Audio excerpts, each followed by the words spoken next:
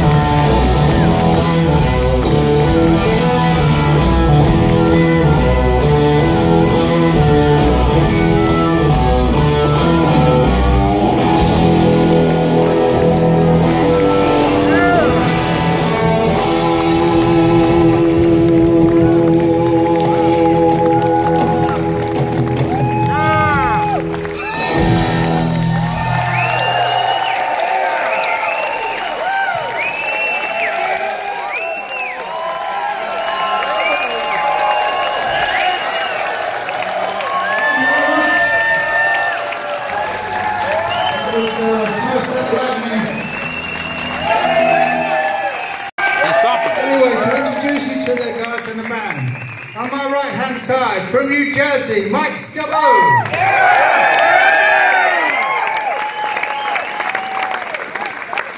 He's in a great band in New Jersey called the Doughboys, and they play lots of Yardbird songs, so they must be good.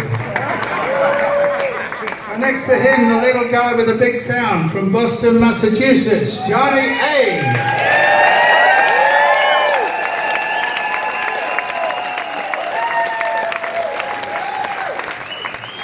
left-hand side here, the legendary uh, bass player who's played with uh, many, many people, Billy Idol, Bob Dylan, New York Dolls, the Yardbirds, Kenny Aaronson.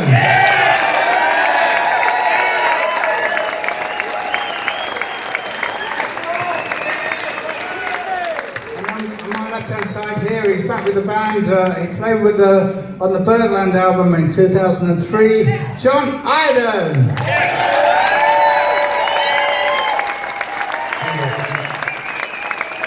It's my pleasure to introduce you to Mr. James McCarty here on the drums. Our good friend, Honorable Hall of Famer himself. Man of the new book. It reminds me, one of the first gigs we played was uh, actually in Phoenix, one of the first gigs in America with the Yardbirds. It was boiling hot, I remember that. And we played, we played with Alice Cooper. And uh, I think he was with the Spiders or something. Was he called the Spiders? Vince something and the Spiders. But um, he told me, he told me later on, a few years later, he said, uh, oh yeah, we played all the Yardbirds numbers before you came on. He said, and when you came on, you wiped the floor with us. Thank you, Alice. So we're going to finish off with a medley of songs that show the group's history throughout the 60s. The song that put us on the map in 1965, followed by a song that was voted uh, psychedelic UK single of all time by a Record Collector. And I never quite got the psychedelic bit, you know, what are they saying? Um, we're on some sort of drugs or something. And then the last song, uh, Jimmy Page went to play with his other band. And uh, actually, our version's come out. Last year it came out, Yardbird 68. It was the Anderson Theatre all remixed, repackaged, uh, and our version's on there. So you'll hear it tonight. Here we go. I